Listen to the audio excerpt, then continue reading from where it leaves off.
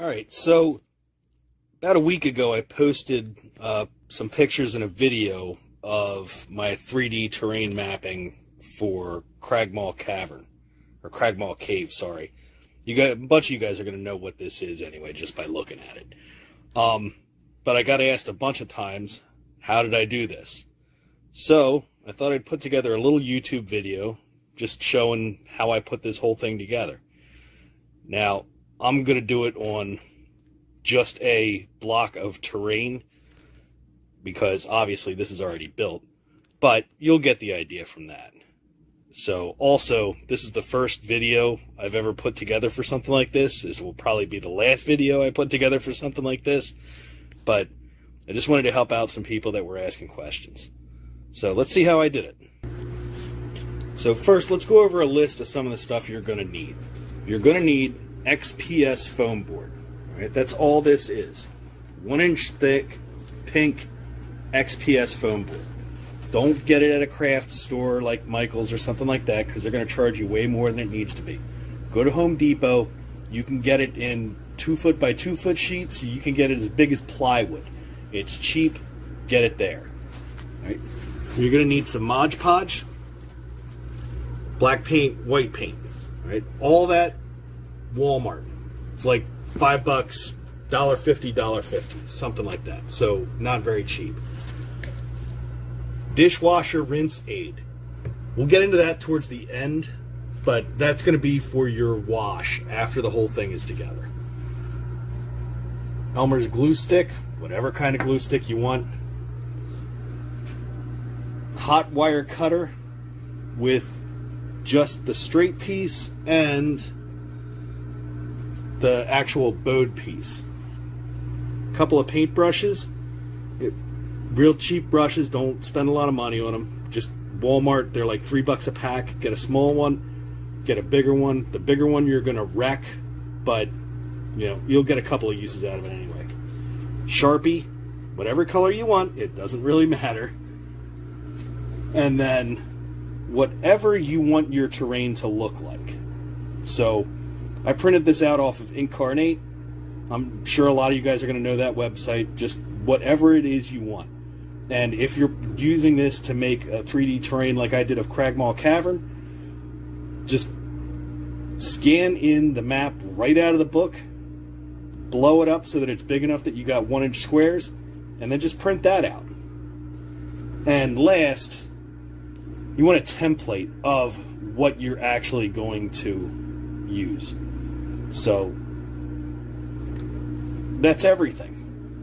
One more thing that you might want to pick up though, you're going to need a can, some kind of can to mix your wash in. So I chose Yuengling Lager, but feel free to choose whatever kind of can you want. So let's get to it.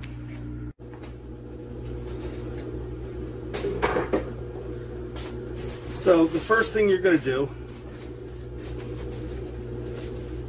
is take your template, put it on wherever you got some space on your foam board. Take your Sharpie, trace your edge. Now, you'll see that I have a little bit of space between the edges and stuff. You're going to want that. Because you're going to give this texture as you cut it with your hot wire cutter. And if you want to have a sort of beveled edge, you're going to want that also. So first thing, take your hot wire cutter. All we're going to do, and give yourself plenty of room here, is just run your hot wire cutter straight through your XPS foam. And give yourself plenty of space. Like I said, this stuff is not super expensive by any stretch. Cut your whole block out. Don't force your hot wire cutter. Let the heat from the wire cutter do the cutting for you.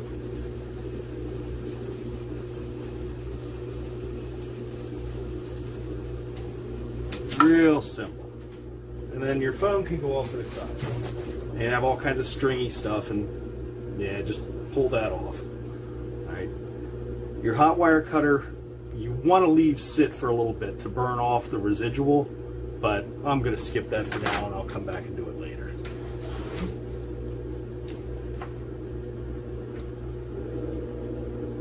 And you take your wire cutter, plug that in, just leave it heat up a little bit, get rid of some of your strings in the meantime. Now, if you got shaky hands, you know, you're not real smooth with your movements, things like that, sort of like I am, great. Because that's what you want for this. You don't want a perfectly smooth cut. Right? You want to give this a little bit of texture. So don't try and brace this. If you have one of the the cutting tables, don't use that. Do it freehand. All right? And just go right down the edge. Now, I'm holding this at a very small angle so that it looks like when I'm done, see that it looks sort of like you know, it's built up on an edge. So just cut out all four of your edges just like that. Don't force it, don't push real hard, just let your wire cutter do the cutting for you.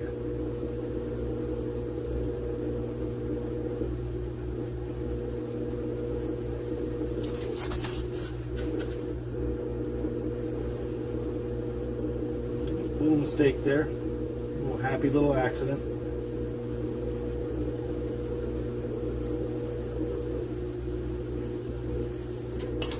There we go. Smooth that out a little bit. Yeah, good. And last side.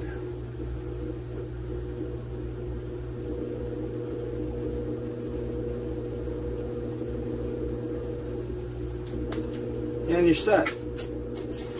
Now these pieces you can save for later. They make great, you know, scrap stuff for making rocks and boulders and things like that. So once you're done, turn your hot wire cutter off. Very important. Turn it off. Don't burn your house down.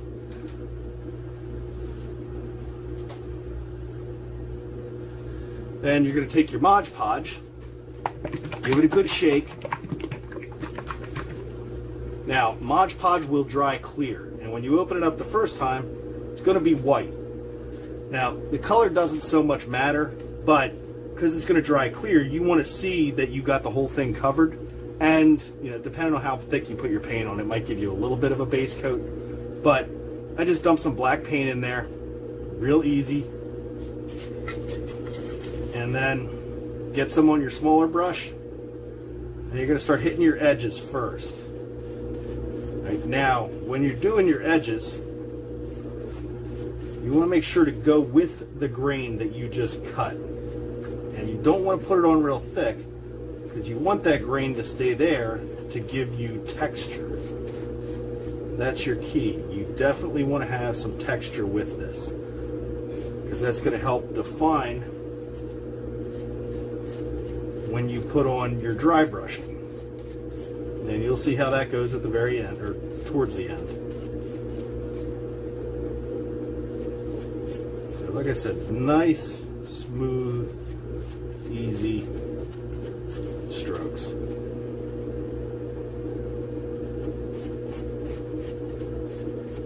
Nice and light. Oh, got a little wire there. We'll get rid of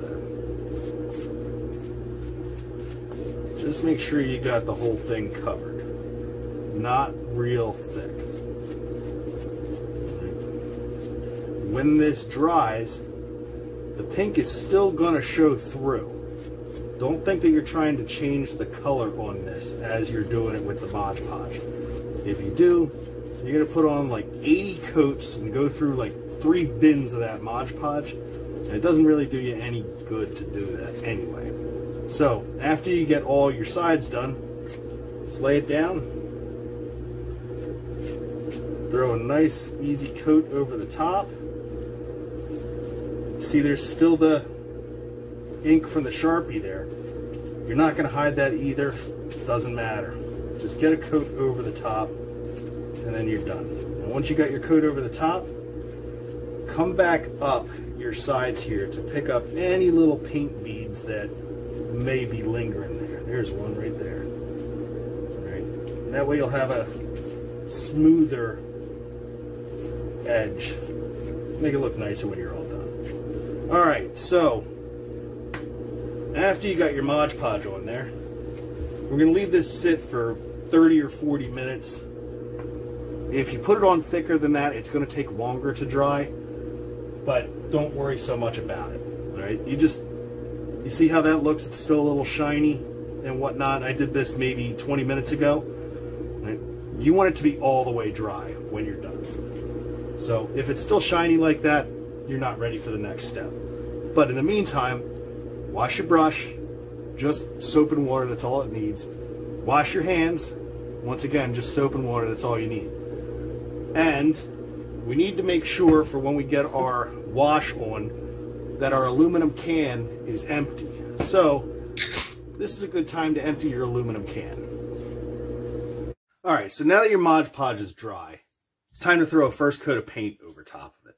Now, I'm going to use gray, which obviously is white and black, but the color paint you choose is going to depend on what you want for your terrain above it. So, obviously I'm going inside of a dungeon, so gray for stone. If you want to make it woodland, maybe you want to use brown for dirt. If you're doing something in the in the coastline, maybe you want to use tan for sand. That's completely up to you, and it really depends on just what you want. So, I'm going to mix up a little bit of white, a little bit of black, just mix them together nice and good. till you get the color you're looking for. Yeah, that looks about right. And once you're done, get your brush sopped up nice and nice there. You're going to do the same exact thing that you did with the Mod Podge. Nice light coat, top to bottom, right along your grain line there. Nice and thin, does not have to be thick. Does not have to be thick at all. Because you want to keep that grain in there for your texture. Now I know it's very difficult to see it right now on the video, but once we put the uh, the next coat on here, you're gonna see it. Like you're gonna see it. It'll stand out to you very, very well.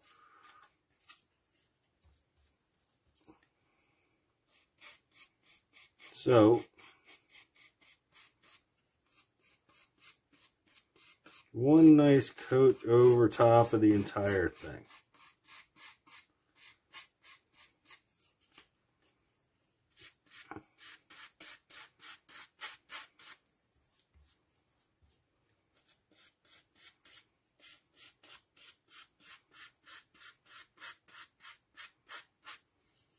Okay.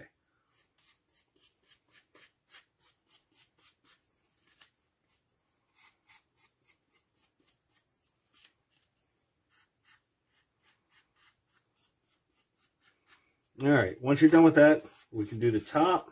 Now, because you're putting down a piece of paper on top of this, you don't need to paint the whole top, obviously. Just the edges that's going to be exposed by the paper. Now, at this point, your Sharpie lines, that you're going to want to make sure get gone because this will essentially be your last chance to get rid of that.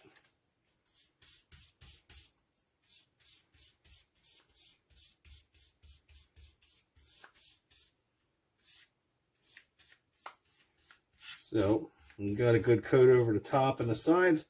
Now, once again, same thing as when you're putting your Mod Podge on. You want to go around the edges one more time and bring that paint up just in case you get any kind of bubbles or you know paint buildup or whatnot. So that's the that's the end of that step. Whatever color you're painting it, that's it. So once again, at the end of that step, you're going to make sure that your brush gets clean. Once again, just soap and water to clean your brush. Clean your hands Once again, just soap and water to clean your hands. And make sure your can is empty. Now, if your first can didn't get emptied all the way, or it got emptied but you're not sure it's emptied, get another can and then empty that one. Because this is going to take 15 or 20 minutes to dry before we can put our next coat on. So make sure you finish up with an empty can. All right, once your paint is dry, we're going to put on a dry brush coat to bring out all of the textures that I was talking about earlier. Okay, so for me, I'm going to use white for my dry brush coat because I'm doing stone, white brings out the stone better. If you're doing woodland, maybe you want to do a dry brush coat in green over top of your brown. If you're doing desert, maybe you want to do a light tan or a lighter brown over top of whatever you're doing. It's just going to depend on your terrain and what you want. So, got a little bit of white paint on my paper towel. You're going to load your brush up a little bit. Just the tip. You don't need the whole kit and caboodle. All right. Once you've got some paint on there, you're going to start brushing it out. Just get the as much of that paint out of your brush as you can. And you want to keep doing that till you get to the point where when you're brushing it over your paper towel or whatever you're using for your palette, it doesn't look like anything else is showing up. And that should be good right there. So, take your heavy brush, this is the one you're going to mess up anyway, and just lightly start going over top of your edges. Right? Now, you can do this as much as you want or as little as you want until you feel like you know you've got your edges or your highlights set. So, once again, this is a, a lot of personal preference and how much you want to put over top of this. It doesn't take long. It doesn't take much effort at all. Just hit it just a little bit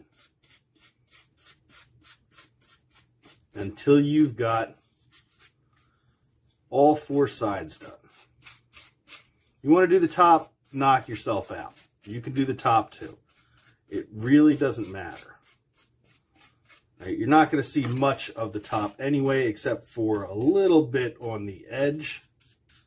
So like I said, if you want to, go ahead. But that's what's going to bring out your textures, your highlights, your whole nine. I mean, all of the, the good looking stuff of this. All right. That's what makes this whole setup really really cool. So,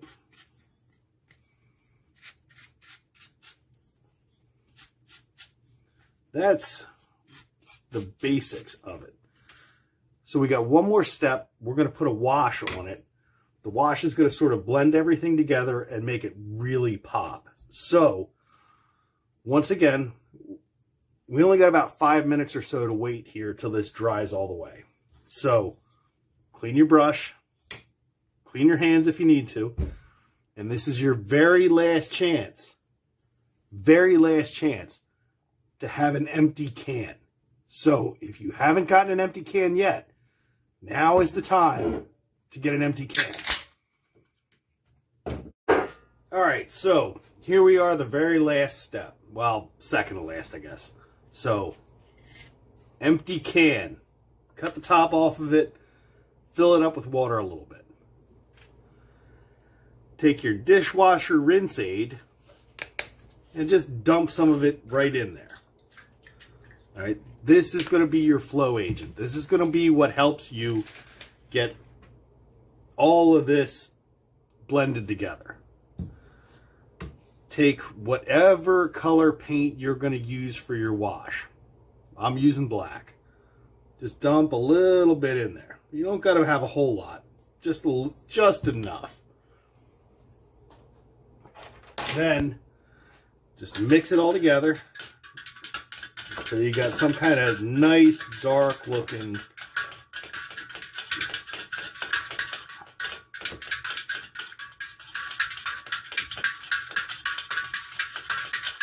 Yeah. Now, before anybody asks, I'm using a nail to mix this up. Why am I using a nail? Because the iron in the nail mix, I'm just kidding. Because that's what was available. It doesn't matter. Just mix the thing up.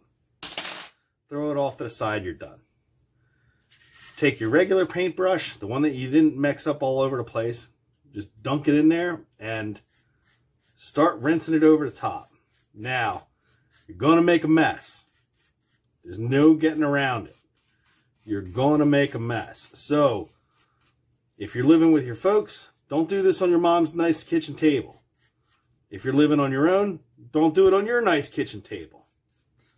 Do it in a workshop or outside or somewhere where you don't care if crap's going to get everywhere because it's going to get everywhere. Right? If it's not coming out dark enough for you, if it's not blending in well enough for you, mix it again. Put some darker paint in there, and there you go. But this will make the white pop. This will make the dark pop. It'll blend everything together just a little bit. I think I'm going to go a little darker on this one.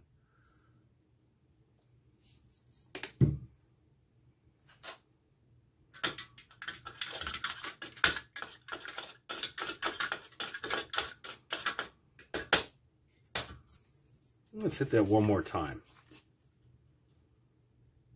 Just with a little, oh yeah, that's what I'm talking about.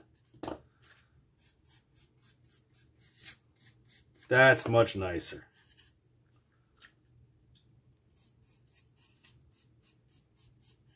There we go. That's more what I was looking for. Now, like I said before, what color paints you use is completely up to you. And it is.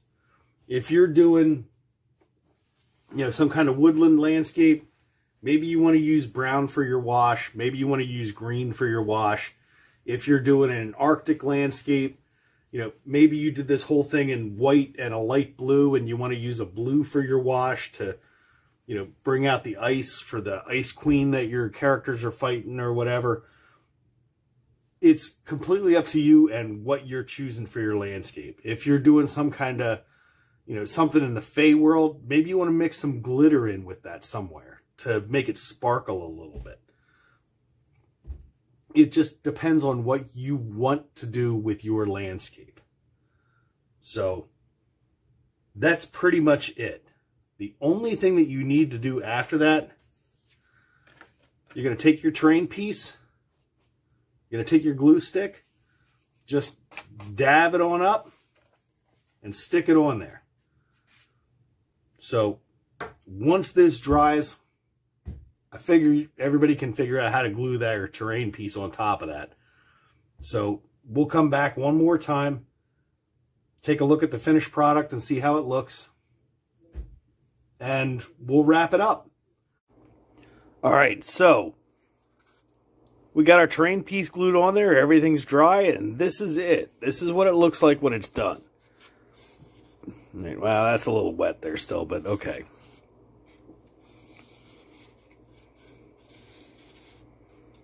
But that's it. That's what it looks like when it's done.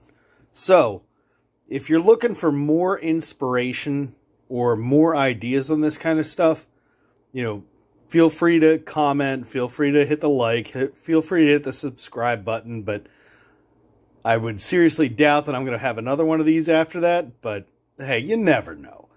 Um, there's other people out there that are much better at this than I am. Uh, Black Magic Craft is a really good YouTube to follow. Uh, he's much more in depth than I am. Uh, he doesn't use the terrain overlay like I do. He just crafts it all right out of the XPS. So a lot of it is just what you feel comfortable with and what you like doing. All right, well, happy gaming to everybody. Happy crafting. I hope everybody got something out of this. You guys have a good night.